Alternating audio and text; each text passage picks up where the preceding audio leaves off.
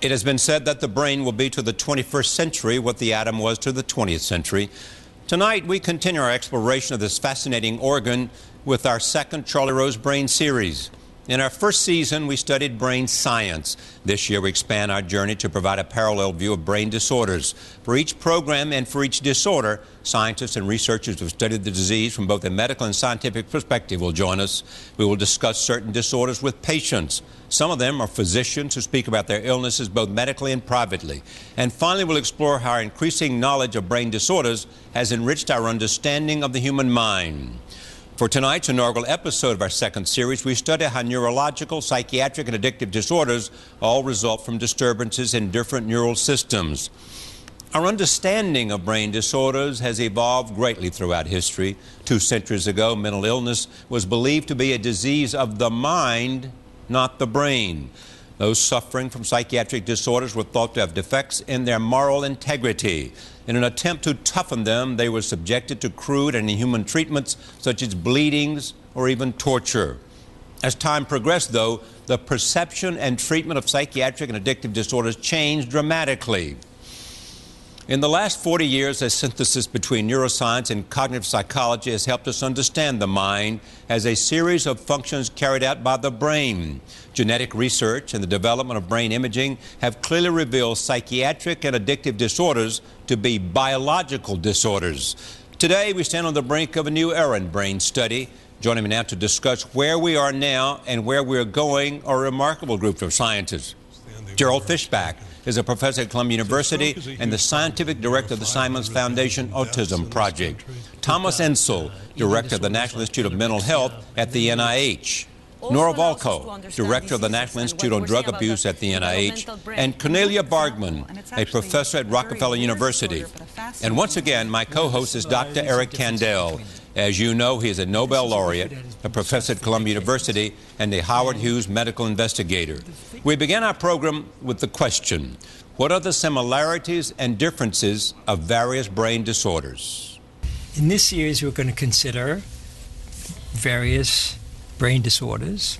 And as you know, the brain is the most complicated organ in the body and therefore susceptible to more diseases than any other organ.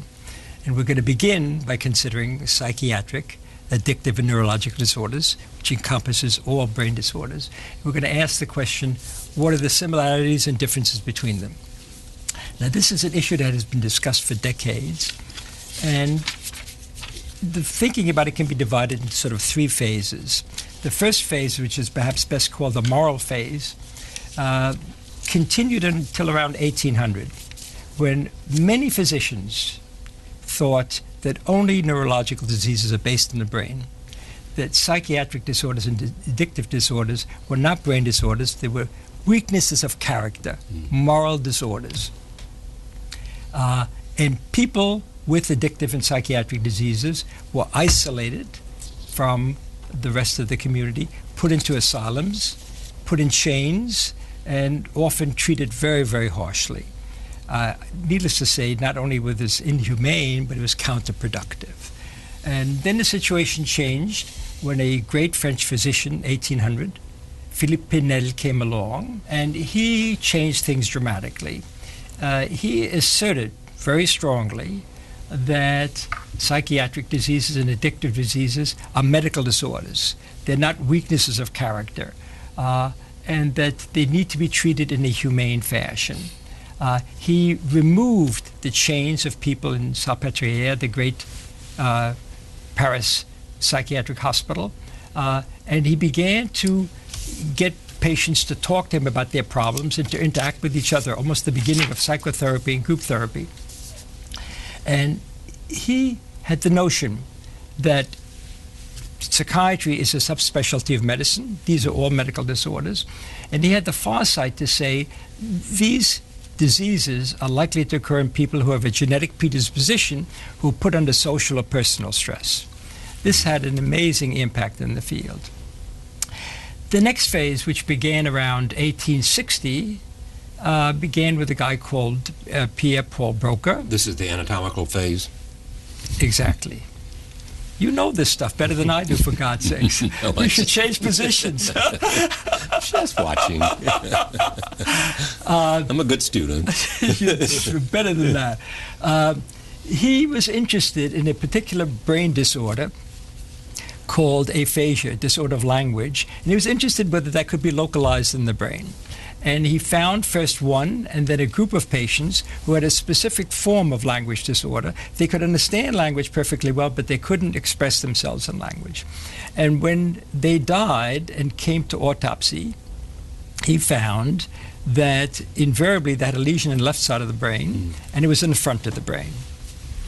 Um, but 15 years later, Karl Wernicke, a German neurologist, picked up the study of aphasia, and he found a patient who had the mirror image clinical picture. He could articulate, could express language, but couldn't understand it. Mm. When he died and came to autopsy, he had a lesion also on the left side, and the lesion was at the back of the brain. Uh, moreover, he realized that the lesion of his patient and Broca's patients, those two areas, now called Wernicke's area and Broca's area, are interconnected. That made him realize that complex neurological disorders are not due to a lesion at one site, but a lesion at a number of sites that are interconnected. People now began to explore a number of neurological diseases, and Jerry Fischbach is going to speak about that, and saw that all of them could be localized to one or more areas in the brain, neural circuitry in the brain. When psychiatrists began to explore the brain for psychiatric disorders, schizophrenia, depression, addiction, they didn't find obvious lesions in the brain. And so many thought that these are not brain based disorders, these are mental disorders. And a few far-sighted psychiatrists realized even early that it's very likely that they are brain disorders, but undetectable with the techniques are available. Uh, the situation changed remarkably in the last 40 years. A new synthesis occurred within psychiatry, driven in good part by basic science. First of all, there was a sort of a philosophical synthesis when cognitive psychology, the science of the mind, merged with neuroscience, the science of the brain, to formulate a new science of mind. And as we discussed in the earlier series, the fundamental assumption of the new science of mind is that every mental process, from the most trivial one, hitting a golf ball, to the most sophisticated, elaborative, creative acts, are all mediated by the brain. And of course, psychiatrists began to realize that all mental disorders, addictive disorders, must be brain mediated. This was further advanced by two other major advances in the field.